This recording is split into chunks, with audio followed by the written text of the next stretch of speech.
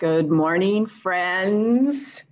It is my absolute prayer this morning that you can see me say hello to you. Ah, yay, it's working. So I want to give a shout out this morning on this beautiful day, uh, June 28th, to all of you. Welcome to worship. Welcome to the Manitowoc Cooperative Ministry live worship service. We, I'm Pastor Judine Duerwaechter, co-pastor with the MCM. And we are a combination of two congregations in Manitowoc, Peace United Church of Christ and First Presbyterian USA. And my co-pastor, Matt Sauer, is um, joining us in spirit today, and I have a feeling online as well. Uh, Matt is attending the 224th General Assembly for the Presbyterian Church in Baltimore. But according to his Facebook page, Baltimore looks a lot like his basement. So I have a feeling I know what he's up to uh, this, this morning. And again, I welcome all of you here today. And I give a shout out too to my colleague, thanking him for all the efforts that he has given in helping me be able to create this worship service and be present live with all of you today. So thank you again, my brother in Christ, Pastor Matt Sauer. Um, I just want to remind you that you can start sending in your prayer requests on the chat box.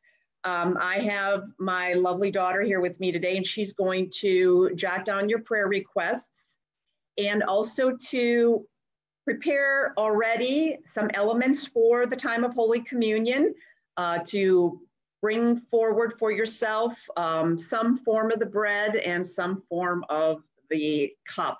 And then we will share that together later in the worship service. And I'm also just going to give you a heads up about the scripture today. It is a beautiful scripture passage. Um, by King Solomon out of First Kings 8. And I mention it because it's one of the longest scripture passages um, I've ever um, typed out and read, but it is, uh, it's just going to be really beautiful as you absorb it uh, into your hearts this morning. So without further ado, I'm going to do a couple technical things here and move us forward in worship. And again, thank you for being here with us this morning.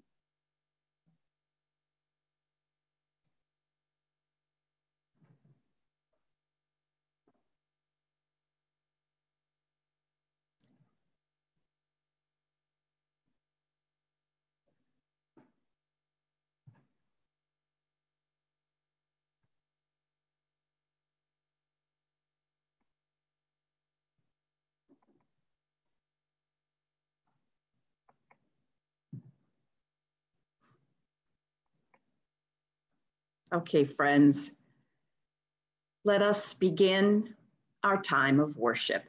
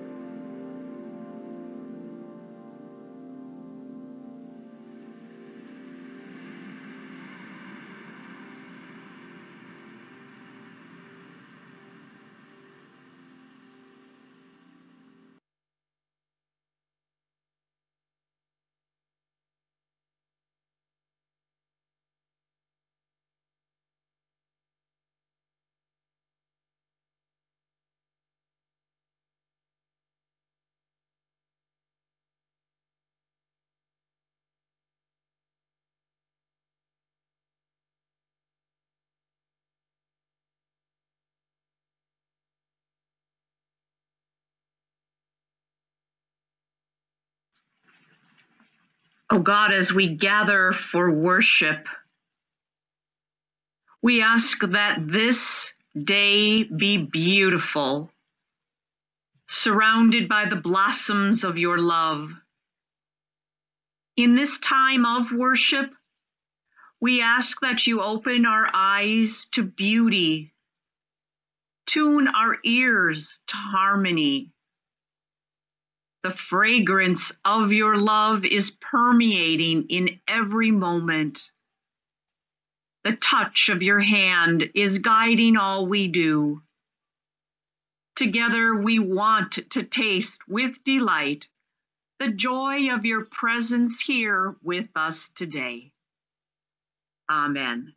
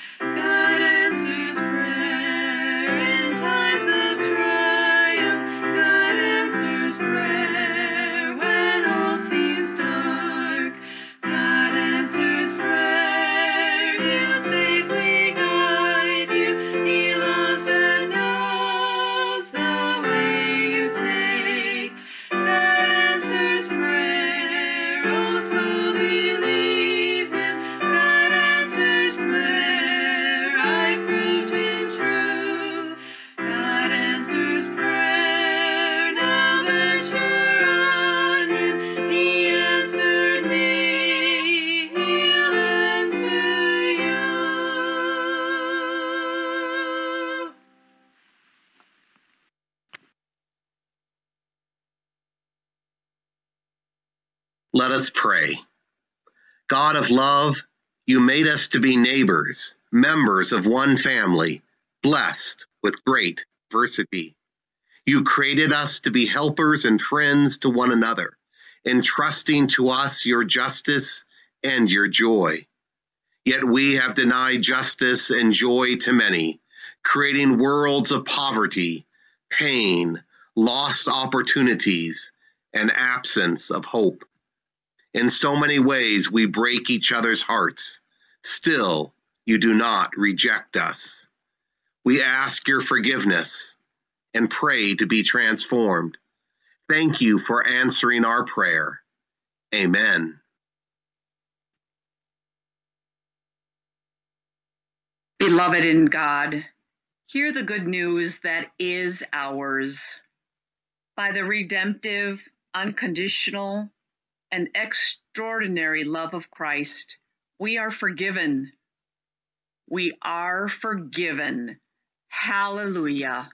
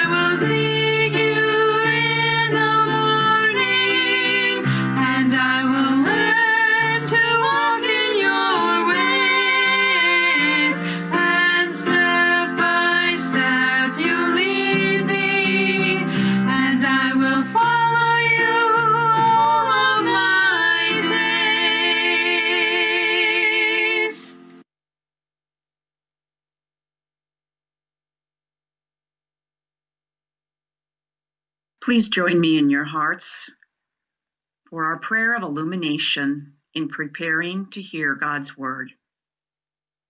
O oh God, we are still now, calmed in your spirit and listening to your word. As the spirit of scripture comes upon us, we are prepared to make the changes within that continue to bring us closer to you, growing us into the most glorious persons you have created us to be. Amen. In hearing our story today, we read from 1 Kings chapter 8, 33 through 53 from the Bible translation called The Message. When your people Israel are beaten by an enemy because they've sinned against you, but then turn to you and acknowledge your rule in prayers, desperate and devout in this temple, listen from your home in heaven. Forgive the sin of your people Israel. Return them to the land you gave their ancestors. When the skies shrivel up and there is no rain because your people have sinned against you, but then they pray at this place, acknowledging your rule and quitting their sins because you have scourged them. Listen from your home in heaven. Forgive the sins of your servants, your people Israel. Then start over with them. Train them to live right and well. Send rain on the land you gave your people as an inheritance. When disasters strike, famine or catastrophe, crop failure or disease, locust or beetle, or when an enemy attacks their defenses, calamity of any sort, any prayer that's prayed from anyone at all among your people Israel, hearts penetrated by the disaster, hands and arms thrown out to this temple for help, listen from your home in heaven Forgive and go to work on us. Give what each deserves, for you know each life from the inside. You are the only one with such inside knowledge, so that they'll live before you in lifelong reverent and believing obedience on this land you gave our ancestors. Listen from your home in heaven honor the prayers of the foreigner so that people all over the world will know who you are and what you're like and will live in reverent obedience before you, just as your own people Israel do.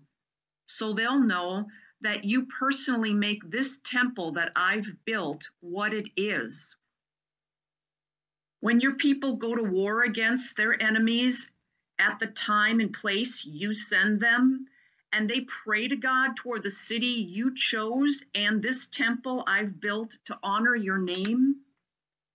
Listen from heaven to what they pray and ask for, and do what's right for them. When they sin against you, and they certainly will, there's no one without sin. And in anger, you turn them over to the enemy, and they are taken captive to the enemy's land whether far or near, but repent in the country of their captivity and pray with changed hearts in their exile. We've sinned, we've done wrong, we've been most wicked, and turn back to you, heart and soul, in the land of the enemy who conquered them, and pray to you toward their homeland, the land you gave their ancestors toward the city you chose, and this temple I have built to the honor of your name. Listen from your home in heaven to their prayers, desperate and devout, and do what is best for them. Forgive your people who have sinned against you. Forgive their gross rebellions and move their captors to treat them with compassion. They are, after all, your people and your precious inheritance, whom you rescued from the heart of that iron smelting furnace, Egypt. Oh, be alert and attentive to the needy prayers of me, your servant, and your dear people Israel. Listen every time they cry out to you. You handpick them from all the peoples on earth to be your very own people, as you announced through your servant Moses when you, O God, in your masterful rule, delivered our ancestors from Egypt. The word of God for the people of God. Thanks be to God.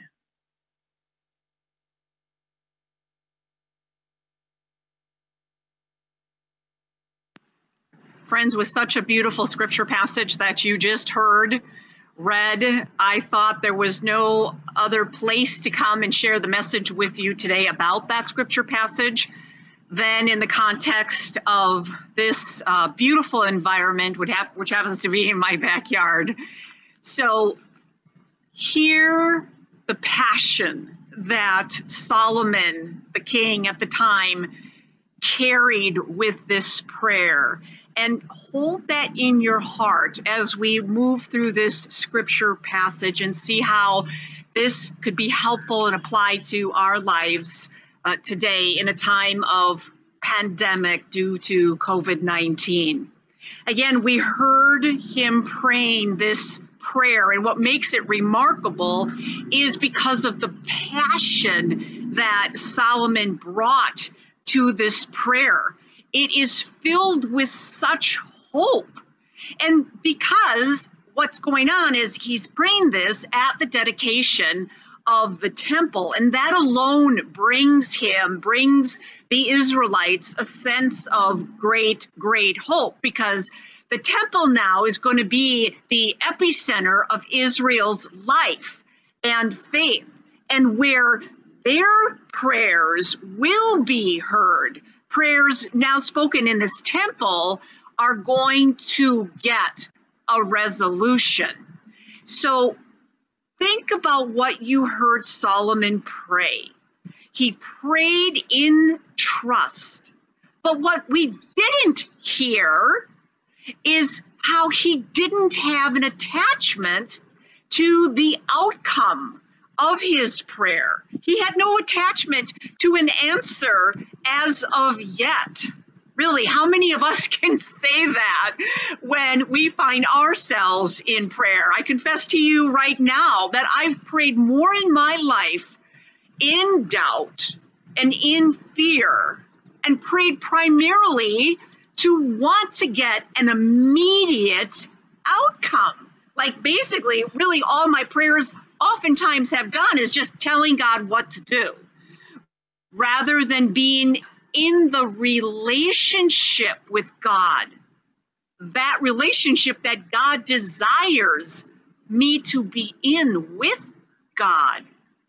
And we can hear in Solomon's prayer how his heart feels assured of God's commitment to hear him, to act, and to forgive, all without doubt. Solomon actually expects God, expects God to hear and act and forgive because Solomon merely needs to look back in history and see the evidence of renewal that God had given again and again and again. And it's on that evidence that Solomon is standing in this prayer. He simply needs to look to Moses. He simply needs to look to his own father, King David, and even to Solomon's own experiences that he's had with God to remind himself and his people that God's steadfast fidelity, the marriage of their relationship is there, regardless of the conduct of, well, we saw, you know, King David, or the conduct of Solomon, or the conduct of any of the people of Israel. Had we read the chapter before chapter 8 today, we would see where God actually appeared to Solomon and promises to him that all his prayers will be answered. And in that chapter, he gives the key to Solomon, which is maybe why Solomon is praying so confidently today. The key that God gives Solomon in chapter 7 is to pray your prayers with a heart of humility. He calls the people to come before God humble. That's the key. He literally gives the people the answer as to how it is you go to God and ask for prayer. So God tells this to Solomon in chapter 7, not to give Solomon basically a quid pro quo. That's not what it's about. But it's to tell Solomon, not if you pray like this, but Solomon, when you when your people pray like this with a humble heart, that's when my ears can hear. Humility, friends. Humbling yourself, humbling myself. Solomon humbling the Israelites means for us basically to stop faking that somehow we have the power, that somehow we are God, and to let God's self, God's omnipotence, to love you back. So basically, we're called with the answer to pray with humility, to be humble. That is the answer as to how we can get out of God's way to get out of God's way. Kind of reminds me of the scene in The Wizard of Oz where the little dog Toto goes and takes the curtain in in that uh, that arena where the big and powerful Oz is up on the screen, and little Toto runs up to that curtain and bites it and drags it away, and ends up revealing not a great and powerful Oz that you see on the screen, but a humble and frightened old man who's behind the curtain, living with fears and faking his way to greatness, which wasn't great at all, was it? Friends, this is our call. It's to step off the stage of pride and self aggrandizement and reconnect with our, with your true self, reconnect with our Creator, and let God's power move in and through us. That's how we're given, literally given, the eyesight to recognize then that our prayers have been answered. Friends, let's be clear. There's always going to be problems. There's always going to be the poor, as Jesus said. There's always going to be disasters and pestilence, as we've read about for thousands of years. We're on the planet, for God's sake, right? We're not in heaven. We're basically separated from our source by the gravity and the like being on this physical planet. But, but, but, the message of Jesus Christ is that the gap between heaven and earth has been closed in love. Love itself came to us and it built a bridge, so to speak. So we can now have access basically to get on the love train and go back and forth, or basically stay in love. Here on earth, we have no choice but to humble ourselves, to buy a ticket, and to ask God to help us amidst the disasters in our lives, both big and small, so that we can endure them.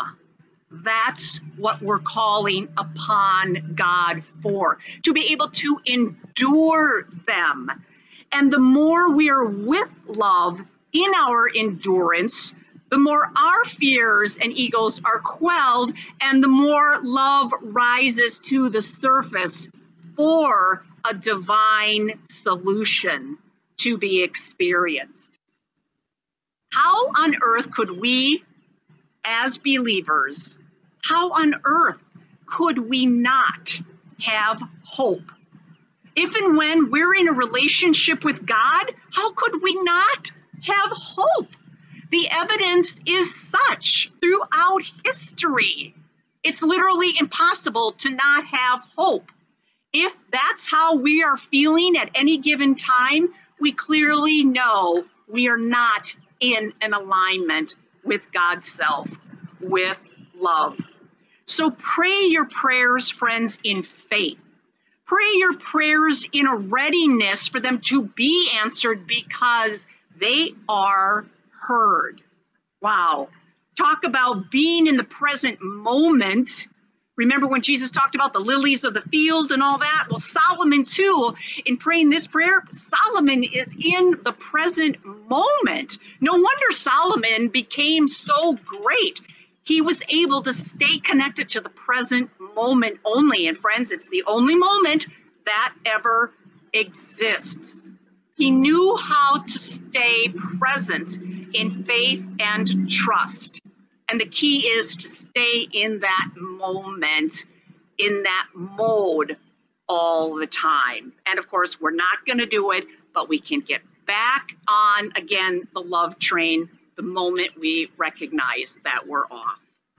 So, in closing, friends, let's pray Solomon's prayer together with a passion, with a trust, Let's pray this prayer together with an assurance of past evidence that God, in fact, hears us.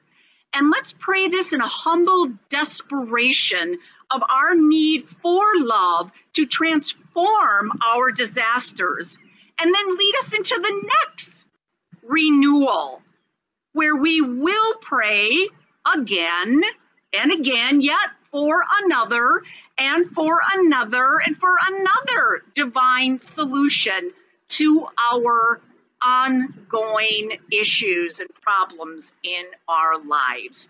The job is to stay in the relationship with God.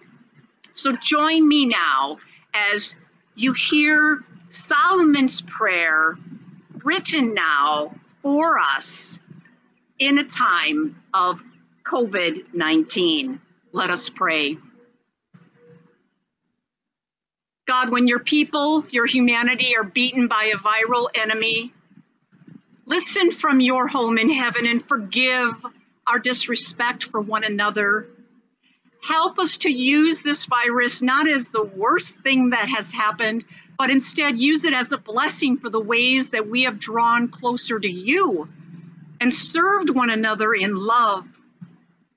God, start over with us. Train us to live right and well.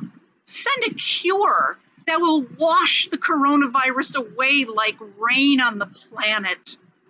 Forgive and go to work on us, bringing us back to you, knowing what each of us needs to let go of fear and grow in love.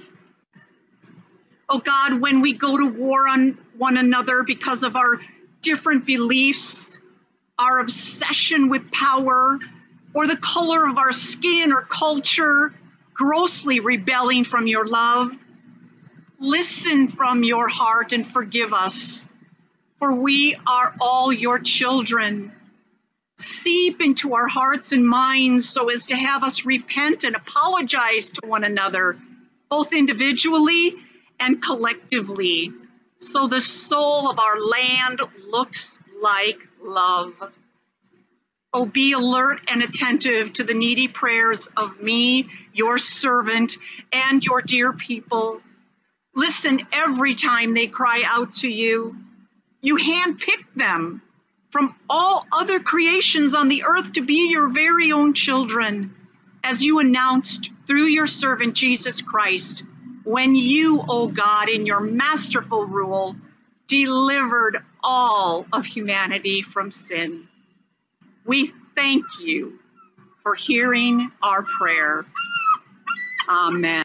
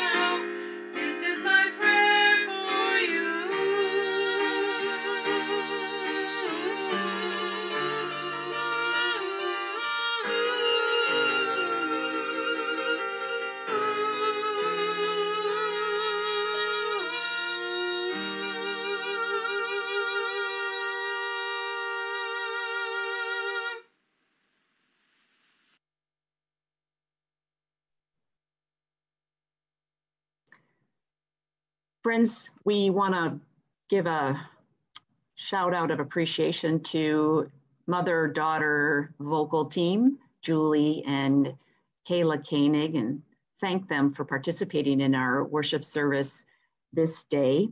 At this time, I'm um, re inviting you to begin centering yourselves for a time of prayer, to please send in any, I'll call it last minute prayer requests, and to have your communion elements um, available to you as we move into a time of prayer and communion. First, I'd like to remind you of our, just a second here, of our hearts and our offerings. You know, we have a generous God. And we too are called to be generous back to God. And we can do that, of course, in our offerings for the Manitowoc Cooperative Ministry, which is, again, Peace United Church of Christ and First Presbyterian Church. And you can continue to mail in your offerings. We are truly appreciative of that. And or it's an invitation to perhaps um, begin giving online. I've mentioned before that this was something that um, I've done and I've really really felt the heart of being able to give online. So that's been great. If you need a reminder here, our addresses of the two congregations are here for you. And again, thank you for your generosity. Uh, Pastor Matt and I and our leadership have really been able to do some wonderful things because of the way you all have been giving.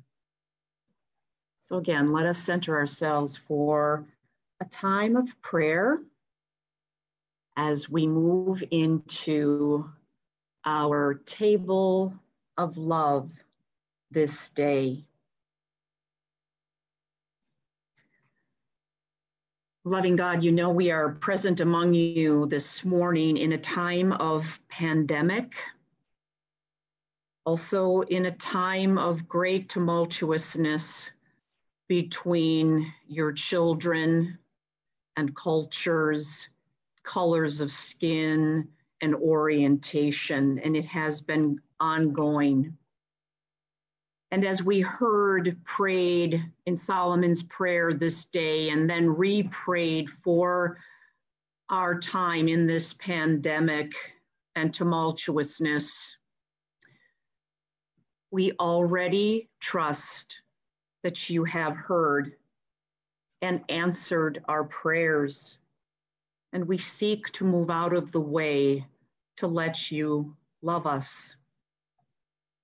We lift up today prayer request from Laura with a praise report for young Josh who received a double lung transplant and we had given praises for last week and we continue to give thanks for young Josh is planning and preparing to return home.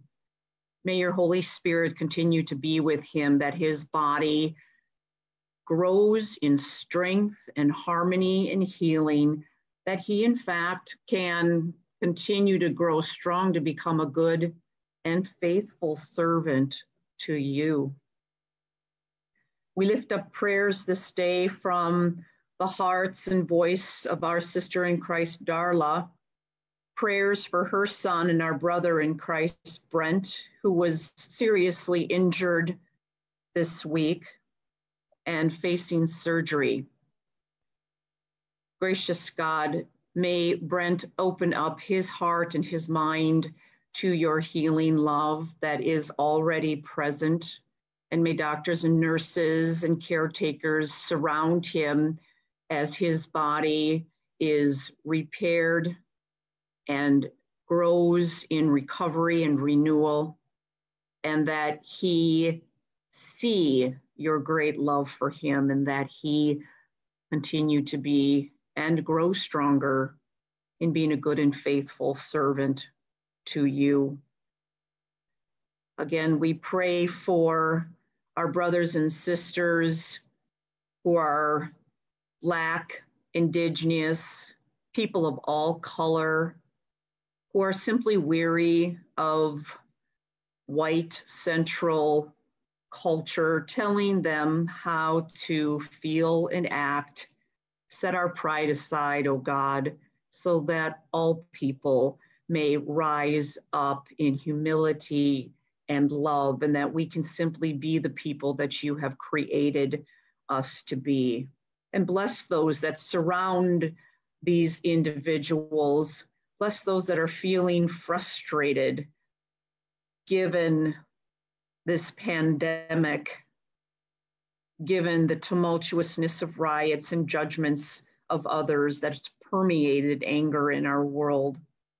Quell us, quell our egos, sit them down again, that love may rise up.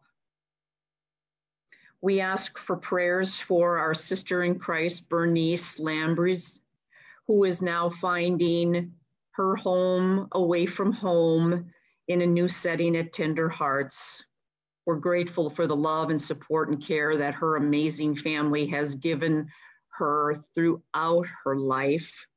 And now, as she finds herself in a new space, may it be your Holy Spirit moving through each and every one of them that love her, and now through caretakers as well, that helps her to sense that you are present with her always. We thank you for hearing our prayers. And prayers, oh God, I thank you, my colleague Matt, for lifting up prayers for my knee replacement surgery on Wednesday. I thank you for an already successful surgery. I thank you for my family that loves and supports me and for all of the members in the MCM that have extended their love and prayers and will do so ongoing. Uh, may doctors' hands and nurses' hands be blessed again by the guidance of your Holy Spirit, that it may be a success so I can continue to serve you as a good and faithful servant as well. As we move into our holiday this upcoming week, oh God. Sometimes our hearts feel like there is not much to celebrate, and yet we also know that there's more love in the world because you exist than there ever will be fear or anger or hardship, that you are bigger than all of these things. And so, therefore, may the bigness of your love and your hearts, may it hover and permeate through our elected officials that lead this nation. May it hover and permeate through our law enforcement that seek to keep this nation safe. And may it permeate and hover through all civil servants and clergy alike that together we take an ethical responsibility in showing one another what it is that love looks like. We thank you for hearing all of our prayers today. And we now enjoy that you hear us pray the prayer that Jesus taught us. Our Father and Mother in heaven, holy is your name. Your kingdom come, your will be done on earth as in heaven. Give us this day our daily bread. Forgive us our sins as we forgive those who sin against us. Save us from the time of trial and deliver us from evil. For the kingdom, the power, and the glory are now yours, now and forever. Amen. On the night in which our Lord was arrested, he took bread, he lifted it up to heaven, and he gave thanks to God for the food of the earth. And then he broke it, and he gave it to his disciples, saying, Take and eat, all of you. Take and eat, all of you. This is my body my love given for you. After supper, the Lord again took a cup, lifted it up to heaven, and gave thanks to God for the fruit of the earth. He then poured it out and gave it to his disciples, saying, Take and drink, all of you. Take and drink, all of you. This is my blood, my love, shed for you. Siblings in Christ, this is the covenant of God that sins are forgiven, eternal life can be yours, and love abounds. Siblings, these are the gifts of God for the people of God. All is ready, all is blessed. Eat and drink, for this is the joyful feast of the people of God.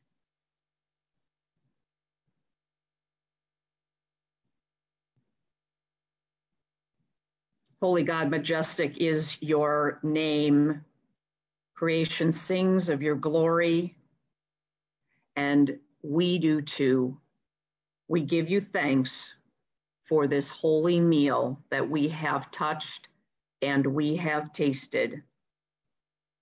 May it empower us and transform us, drawing us closer and closer to you. Amen.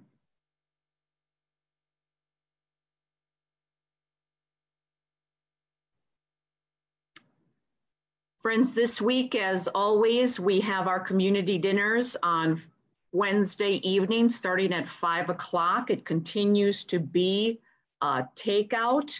Thank you for whatever ways it is that you are supporting our community dinners on Wednesday night, uh, whether it be donations monetarily or your social distancing, volunteering we are super grateful for how you contribute to this ongoing ministry despite the pandemic. We also would like to invite you to continue to be inspired with our daily devotions on YouTube and Facebook each day. Pastor Matt and I really enjoy bringing you these uh, few minute meditations. And a note that the Monday noon Bible study uh, this week and next week is canceled. So we will resume after two Mondays after the holiday weekend. Um, Bible study will resume. And then to just remember to continue to like us on Facebook, continue to be inspiring we try hard to uh, inspire you in your spiritual journey on Facebook, on the MCM United Facebook, or on YouTube with Manitowoc Cooperative Ministry. And remember too that on Sunday mornings we do gather for fellowship at 9:30 before our worship service begins at 10 o'clock. And the details of connecting to that are in the bulletin, which you receive via email or snail mail, so to speak. And most importantly, we want you to know that we are here for you. Whether you call the church office, you're able to leave a message for any one of us specifically, just follow the prompts, or you call our personal cell phones. We work closely together to make sure that if there is something on your heart and mind uh, that is hurting you or something that is of a great joy concern, we really would like to share it with our family in faith. So, again, know that we are here for you. And now, before I visually say goodbye to you after our song, I ask that you center your hearts for the benediction in join me in affirming God's love for you.